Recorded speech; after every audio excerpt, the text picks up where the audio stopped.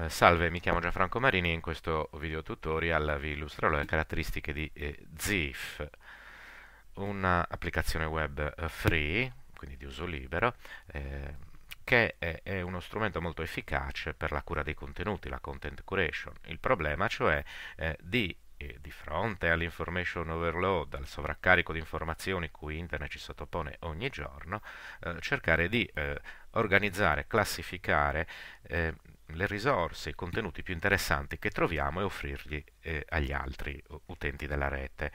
Bene, dopo essere recato nella uh, pagina principale, uh, mi potrò collegare anche con i miei vari social account, clicco su login, digito la password e mi collego. A questo punto posso iniziare il mio lavoro.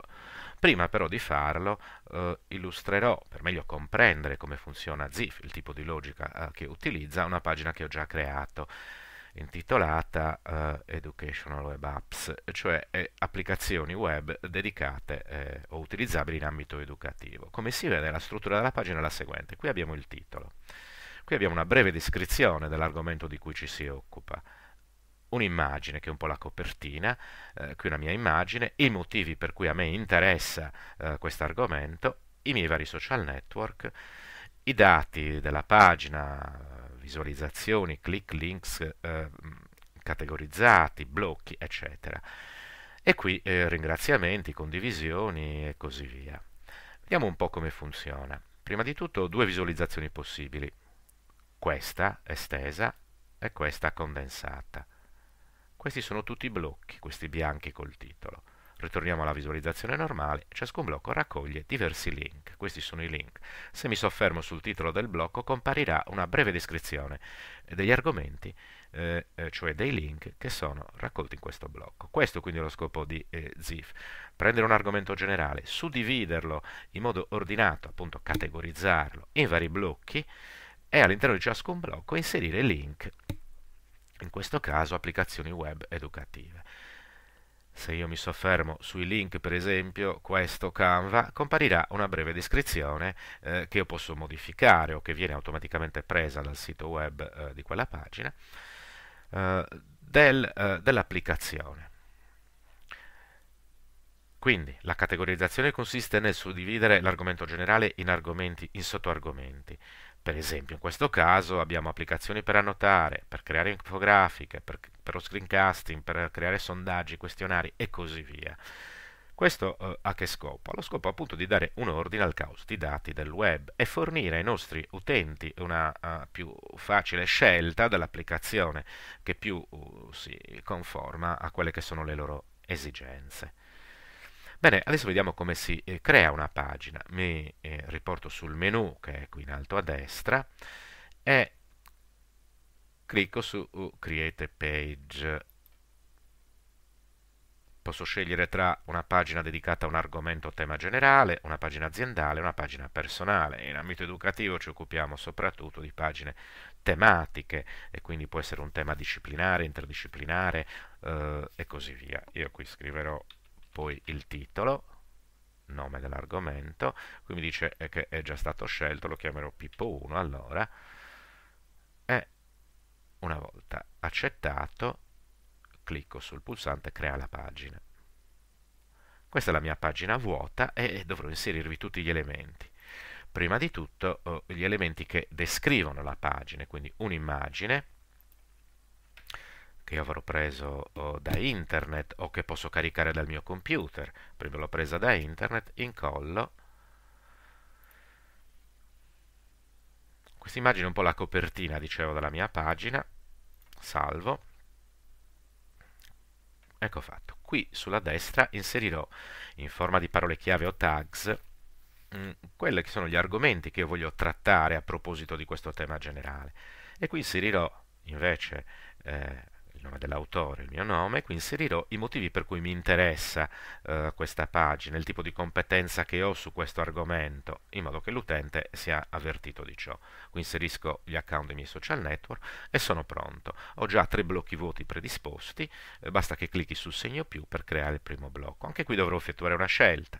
In questo caso, quasi sempre, eh, si tratta di eh, link, cioè di raccogliere e ordinare dei link.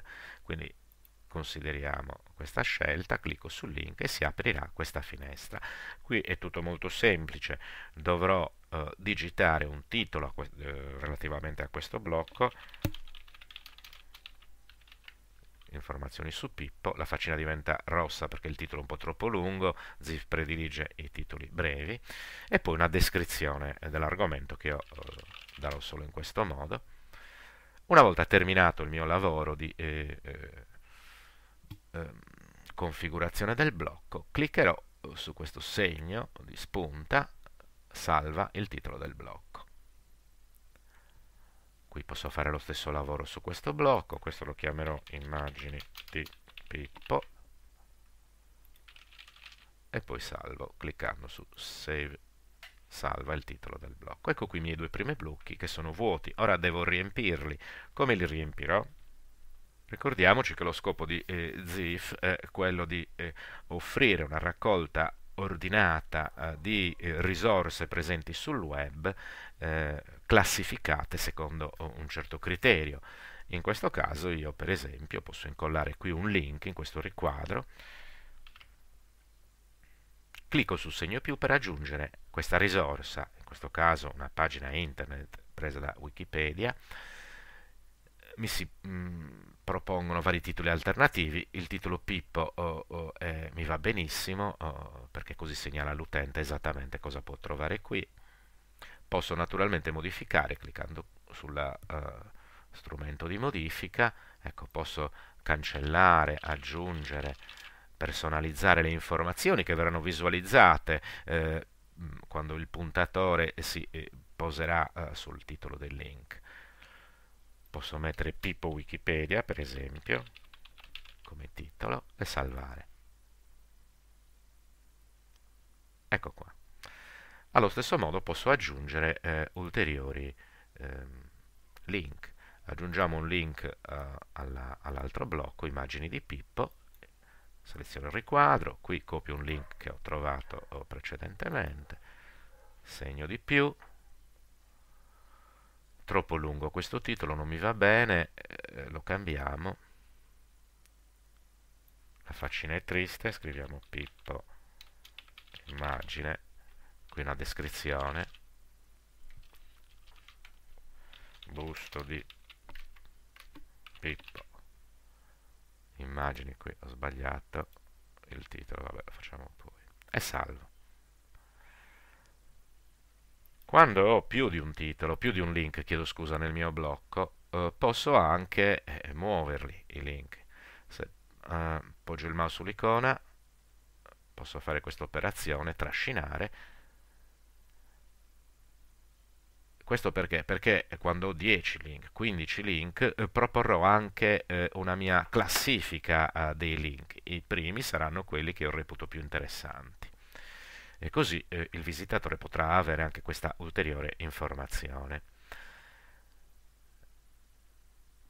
Bene, rieccoci eh, nella pagina di esempio oh, per mostrare come la uh, visualizzazione condensata dei blocchi serve per poterli spostare in modo da, quando ho tanti blocchi, dare ad essi un certo ordine eh, e, e, quindi consentire una più agevole eh, visualizzazione ai visitatori. Qui posso anche eh, indicare che eh, i vari link all'interno del blocco eh, dipendono dal ranking, dal mm, punteggio attribuito dal curatore o l'ordine semplicemente alfabetico o dipende dalla popolarità io assegno un ranking mio eh, cioè dico sono ordinati così perché secondo me si va dal migliore al peggiore tra i siti che ho segnalato, i servizi che ho segnalato.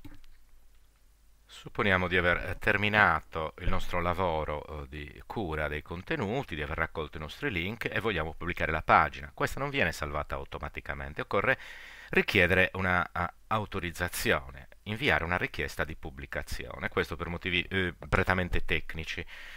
Eh, eh, cliccando qui eh, viene inoltrata la nostra richiesta, ci verrà risposto nel giro di pochi eh, giorni via mail. Ehm, in questo caso non mi è stata data l'autorizzazione perché non ci sono 20 link, che è il numero minimo di link perché la pagina possa essere eh, pubblicata, eh, ma eh, può essere negata anche per altri motivi, per la presenza di un blocco vuoto o altre questioni tecniche, unicamente per questioni tecniche. Eh, se non, sono, uh, se non c'è nessun errore eh, tecnico da correggere, la pagina viene eh, normalmente pubblicata e mh, mm, compare su internet. Ebbene, questo è tutto almeno come sommaria introduzione. Eh, grazie e buona cura dei contenuti a tutti.